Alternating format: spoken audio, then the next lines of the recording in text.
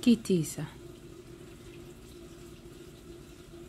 And Yahuwah spoke to Moshe, saying, When you take the census of the children of Israel to register them, then each one shall give an atonement for his life to Yahuwah when you register them, so that there is no plague among them when you register them.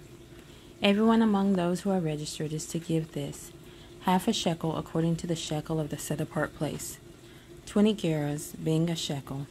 The half shekel is the contribution to Yahuwah. Everyone passing over to be registered from 20 years old and above gives a contribution to Yahuwah. The rich does not give more, and the poor does not give less than a half shekel. When you give a contribution to Yahuwah to make atonement for yourselves. And you shall take the silver for the atonement from the children of Israel, and give it for the service of the tent of appointment, and it shall be to the children of Israel for a remembrance before Yahuwah, to make atonement for yourselves. And Yahuwah spoke to Moshe, saying, And you shall make a basin of bronze, with its stand also of bronze, for washing, and you shall put it between the tent of atonement appointment and the slaughter place, and shall put water in it. And Aharon and his sons shall wash from it their hands and their feet. When they go into the tent of appointment, or when they come near the slaughter place to attend, to burn an offering made by fire to Yahuwah, they wash with water, lest they die. And they shall wash their hands and their feet, lest they die. And it shall be a law forever to them, to him and his seeds throughout their generations. And Yahuwah spoke to Moshe, saying, and take for yourself choice spices, 500 shekels of liquid myrrh, and half as much, 250, of sweet smelling cinnamon, and 250 of sweet smelling cane, and 500 of the cassia, according to the shekel of the set apart place, and a hin of olive oil.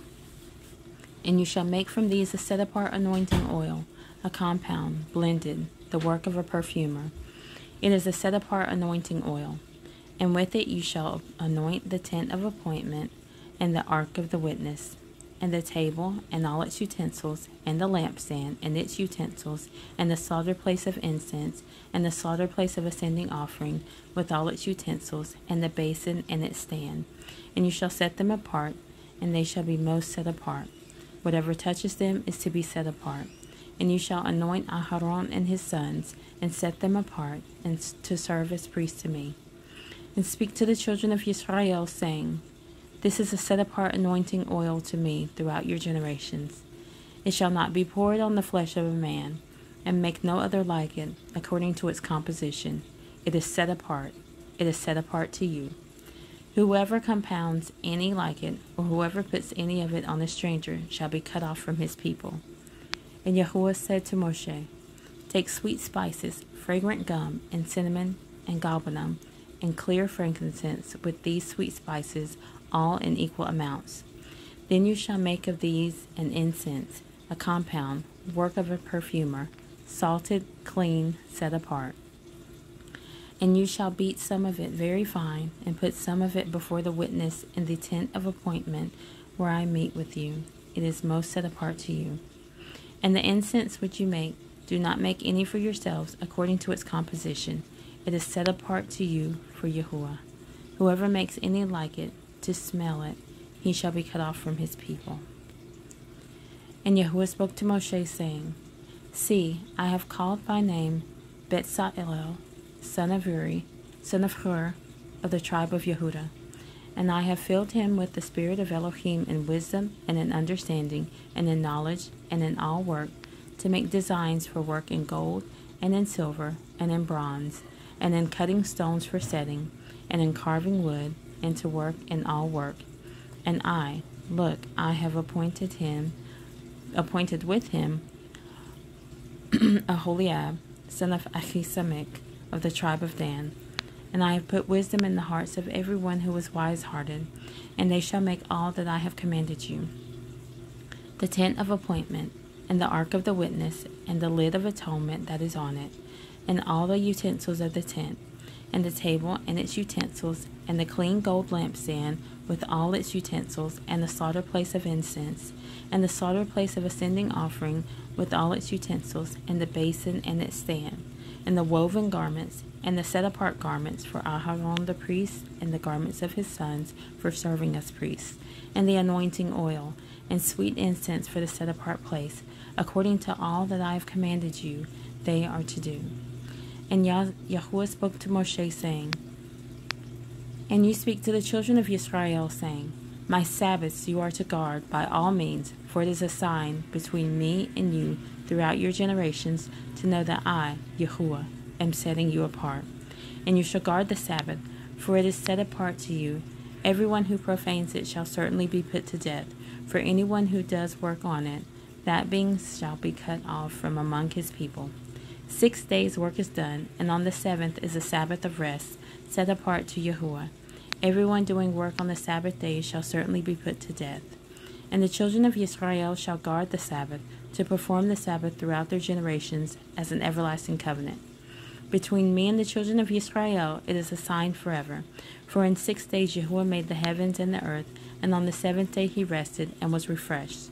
And when he had ended speaking with him on Mount Sinai, he gave Moshe two tablets of the witness, tablets of stone, written with the finger of Elohim. And when the people saw that Moshe was so long in coming down from the mountain, the people gathered together to Aharon and said to him, Arise, make us mighty ones who go before us. For this Moshe, the man who brought us up out of the land of Mitzrayim, we do not know what, is ha- what has become of him. And Aharon said to them, Take off the golden earrings which are in your ears, the ears of your wives, your sons, and your daughters, and bring them to me.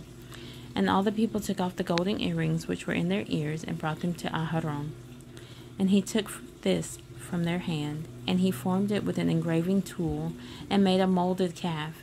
And they said, This is your mighty one, O Israel, that brought you out of the land of Mitzrayim. And Aharon saw and built a slaughter place before it. And Aharon called out and said, Tomorrow is a festival to Yahuwah. And they rose early on the next day and offered ascending offerings and brought peace offerings. And the people sat down to eat and drink and rose up to play. And Yahuwah said to Moshe, Go, get down, for your people whom you brought out of the land of Mitzrayim have corrupted themselves. They have turned aside quickly out of the way which I commanded them. They have made themselves a molded calf, and have bowed themselves to it, and slaughtered to it, and said, This is your mighty one, O Israel, who brought you out of the land of Mitzrayim. And Yahuwah said to Moshe, I have seen this people, and see, it is a stiff necked people.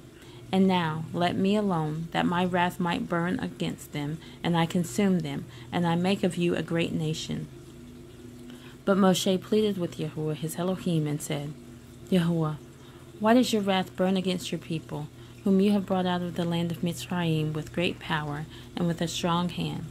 Why should the Mitzrites speak and say, for evil he brought them out to kill them in the mountains, and to consume them from the face of the earth? Turn from the heat of your wrath, and relent from this evil to your people. Remember Abraham, Yitzchak, and Yisrael, your servants, to whom you swore by yourself, and said to them, I increase your seed like the stars of the heavens, and all this land that I have spoken of I give to your seed, and they shall inherit it forever. And Yahuwah relented from the evil which he had said he would do to his people. And Moshe turned and went down from the mountain, and in his hand were the two tablets of the witness, tablets written on both their sides, written on the one and on the other. And the tablets were the work of Elohim, and the writing was the writing of Elohim engraved on the tablets. And Yehoshua heard the noise of the people as they shouted, and he said to Moshe, A noise of battle in the camp. But he said, It is not the sound of those who shout of might, nor is it the sound of those who cry out in weakness, but the sound of singing that I hear. And it came to be, as soon as he came near the camp, that he saw the calf and the dancing. And Moshe's displeasure burned, and he threw the tablets out of his hands and broke them at the foot of the mountain. And he took the calf which they had made, and burned it in the fire, and ground it into powder, and scattered it on the face of the water, and made the children of Israel drink it. And Moshe said to Aharon, What did this people do to you, that you have brought so great a sin upon them? And Aharon said, Do not let the displeasure of my master burn. You know the people, that it is an evil. And they said to me, Make us mighty ones to go before us. For this Moshe, the man who brought us out of the land of Mitzrayim, we do not know what has become of him.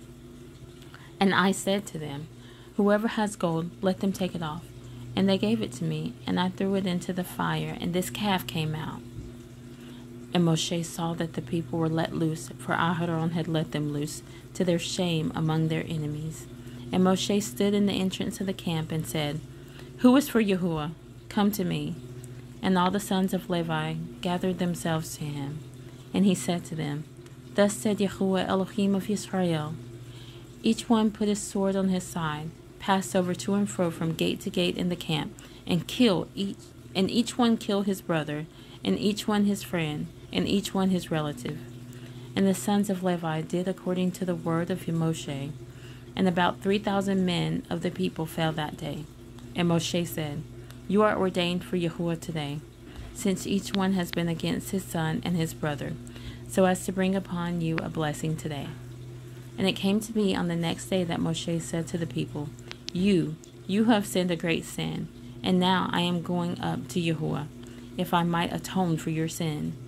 And Moshe returned to Yahuwah and said, Oh, these people have sinned a great sin and have made for themselves a mighty one of gold. And now, if you would forgive their sin, but if not, please blot me out of your book which you have written. And Yahuwah said to Moshe, Whoever has sinned against me, I blot him out of my book. And now go, lead the people to the place of which I have spoken to you. See, my messenger goes before you and in the day of my visitation I shall visit their sin upon them. And Yahuwah plagued the people because they made the calf which Aharon made. And Yahuwah said to Moshe, Come, go up from here, you and the people whom you have brought out of the land of Mitzrayim, to the land of which I swore to Abraham, to Yitzchak, and to Jacob, saying, To your seed I give it.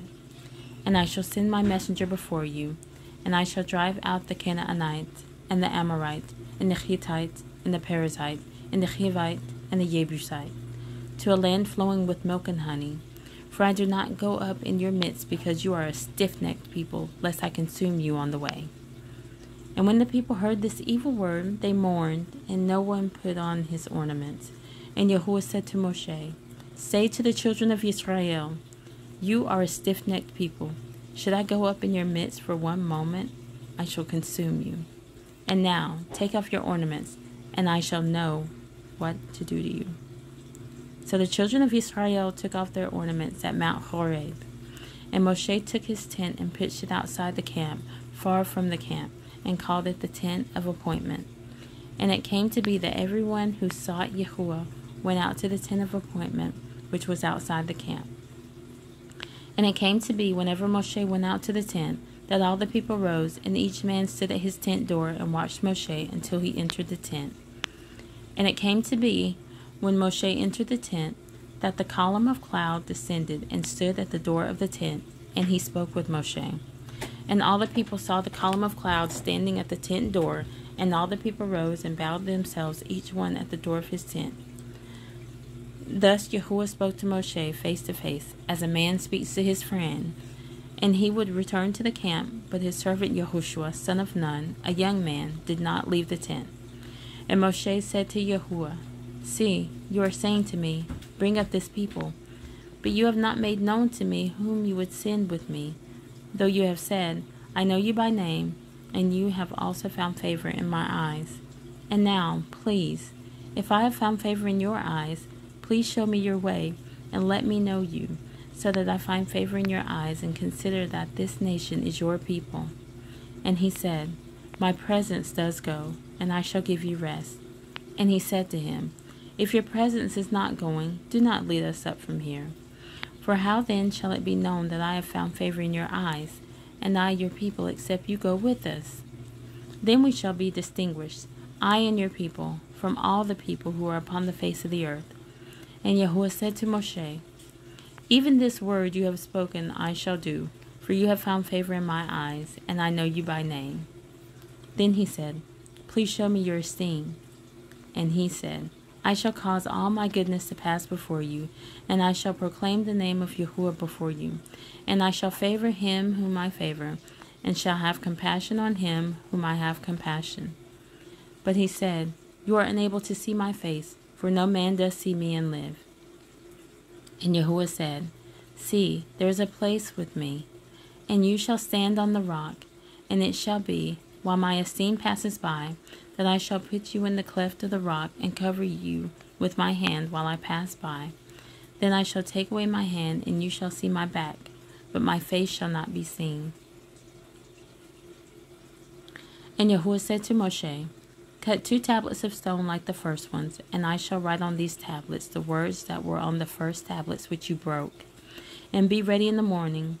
Then you shall come up in the morning to Mount Sinai and present yourself to me there on the top of the mountain. And let no man come up with you, and let no man be seen in all the mountain, and let not even the flock or the herd feed in front of that mountain. And he cut two tablets of stone like the first ones then Moshe rose early in the morning and went up Mount Sinai, as Yahuwah had commanded him, and he took two tablets of stone in his hand. And Yahuwah came down in the cloud and stood with him there, and proclaimed the name Yahuwah.